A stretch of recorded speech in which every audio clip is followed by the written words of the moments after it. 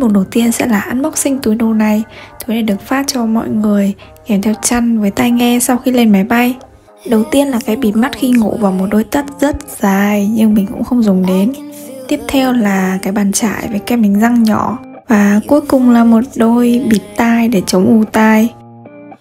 Bay một lúc là mình được ăn rồi. Bữa chính hôm nay mình chọn có một chai nước lọc, Một cốc salad, Một cốc mousse sô-cô-la Nước cam. Bánh Và thịt bò ăn kèm với khoai tây nghiền.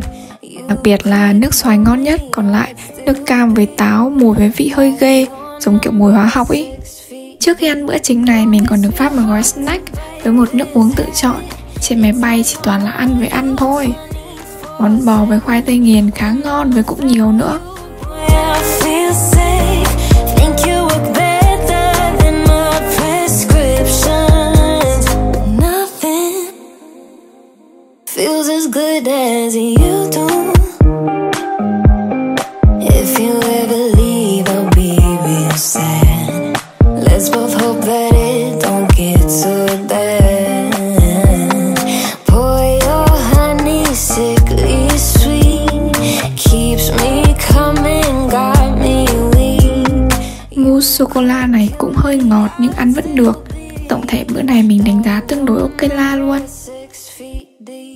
Vẫn là ăn liên tục thì mình có thêm bánh mì kẹp với bánh chuối cũng khá ngon.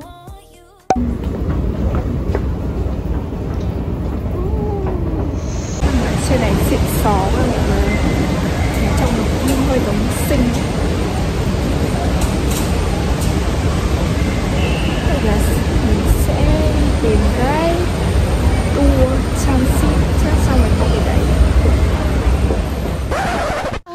đây là lần cuối cùng mình đi xin cái visa transit này nha.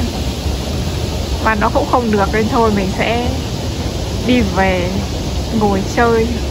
Chắc là đi lượn ở sân bay một tí. Đây là cái chỗ mà mình đã phải đi 6 lần. Bây giờ nó có người ấy, chứ từ nãy giờ mình đi mình cứ đi một mình cơ. Receive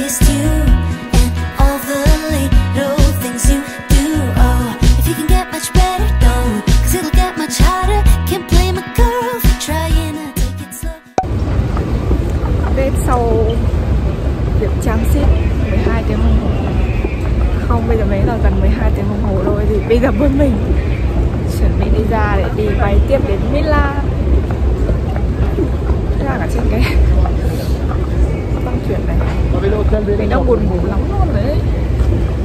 Kiểu bây giờ ở bên này nó đang so với ở Việt Nam nó đang là hơn 3 giờ sáng.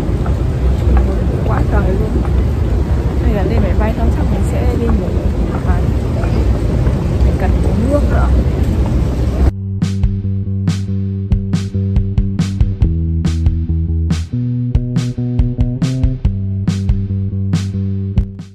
Chuyến từ Doha đến Milan sau bay đêm với thời gian quá cảnh ở Doha lâu nên lên máy bay mình đi ngủ luôn cho đến lúc có đồ ăn sáng.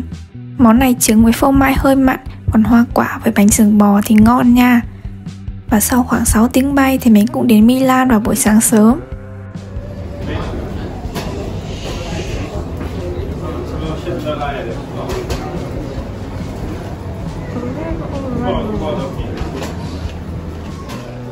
Mình làm thủ tục nhập cảnh xong rồi ngồi đợi doanh nghiệp đến đón về Bergamo Hẹn gặp lại mọi người trong những video tiếp theo nhé.